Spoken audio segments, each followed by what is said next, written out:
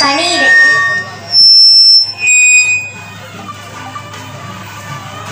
கனியிட ஏறிய சுளையும் முற்றல் கலையிட ஏறிய சாரும் பனிமலர் ஏறிய தேனும் காய்ச்சும் காய்ச்சுப்பாகிட ஏறிய சுவையும் நனி வசப்பொழியும் பாலும் தென்னை நல்கிய குளிரில நீரும் இனி என என்பேன் எனினும் தமிழை என்னுயிர் என்பேன் கண்டேன் பெற்ற தாய் தன்னை மக மறந்தாலும் பிள்ளையை பெறும் தாய் மறந்தாலும் உற்ற தேகத்தை உயிர் மறந்தாலும் உயிரை மேவிய உடல் மறந்தாலும் கற்ற நெஞ்சகம் கலை மறந்தாலும் கண்கள் நின்றிமைப்பது மறந்தாலும் நற்றவத்தவர் உள்ளிருந்தோங்கும் நமச்சிவாயத்தை நான் மறவேனே என்று எல்லாம் வல்ல எம்பெருமானை வணங்கி அவனது இரையாற்றலின் கருணையினால் இன்று சீரும் சிறப்புமாக பீமரத சாந்தி விழாவை கொண்டாடி கொண்டிருக்கும் விழா தம்பதியர் ஐயா ராஜேந்திரன் செட்டியார் இன்பவல்லியாச்சி இருவரையும் வணங்கி வாழ்த்தவும் வாழ்த்து பெறவும் வந்திருக்கும் உறவினர்களுக்கும் நண்பர்களுக்கும் குடும்பத்தினர் அனைவருக்கும் என் பணிவான வணக்கத்தையும் நன்றியையும் தெரிவித்துக் கொள்கிறேன். நகரத்தார்களுக்குனே தனி சிறப்பு இருக்கு. தென்புலத்தார் தெய்வம் விருந்தொக்கள் தானென்றாங்கு ஐம்புலத்தாறு ஓம்பல் தலை என்ற வள்ளுவரின் வாக்குப்படி உலகத்திலேயே வள்ளுவர் சொன்ன தென்புலத்தாரை வணங்குகிற அதாவது முன்னோர்களுக்கு படைக்கின்ற இனமும் நகரத்தார்.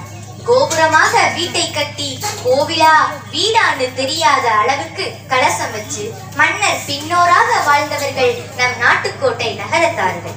அறவழியில் பொருளீட்டல் ஆலயத்தை கட்டுவித்தல் பாடசாலை ஏற்படுத்துதல் தண்ணீர் பந்தல் தந்துதவுதல் கட்டுச்சட்டாய் வாழ்தல் கூட்டு குடும்பமாக இருத்தல் விட்டு கொடுத்து போகுதல். நடுவரம்மா நல்லா கேட்டுக்குங்க. விட்டு கொடுத்து போகுதல் இனிமையாக பேசுதல் கோவில் வழி குடிகளாக வாழுதல். புகழ்மிக்க ஆலய தெய்வங்கள் எல்லாம் நகரத்தாரின் திருப்பணியே ஏற்றுக்கொண்டுள்ளன என்பது இறைவனே விரும்பும் சமூகம் என்பது நகரத்தாருக்கு பெரும் பெருமை. ஒன்பது கோவில் நகரத்தார்கள் உலக உலகமெல்லாம் தொழில் செய்து ஊரெல்லாம் கோவில் கட்டி ஊரணிகள் பலவெட்டி அன்னசத்திரம் மடங்கட்டி ஆலயமெல்லாம் செப்பனித்தவர்கள். தமிழ் சமூகத்தில் நாட்டுக்கோட்டை நகரத்தார்கள் இலக்கிய காலத்திலிருந்தே புகழ்பெற்ற வணிகர்களாக திகழ்ந்தனர். வந்தோரை முகமலர வரவேற்று உபசரித்து வகை வகையாய் பலகாரம் வாய்க்கு ருசியாய் சமைத்து வந்தவர்கள் போகும்போது வாளியோடு பை தந்து வயிறார மனமாற வாழ்த்தி அனுப்புபவர்கள் நகரத்தார்களே. கற்பில் சிறந்த கண்ணகியே இன்று நாட்டரசன் கோட்டை கண்ணாத்தாளாக அருள் பாலிக்கிறாள் கம்பனும் நகரத்தாரோடு வந்துரைந்தான். காரைக்கால் அம்மை சிவனுக்கே தாயானாள். பட்டினத்தார் பரமசிவனுக்கே தந்தையானார். இப்படி சைவமும் தமிழும் போற்றும் குலம் நமது நகரத்தார் குலமே கருவிலே திருவமைய பெற்றவர்கள் நகரத்தார்கள். இலக்கியங்களே கொண்டாடி மகிழ்ந்த பேரினம் நகரத்தாரே.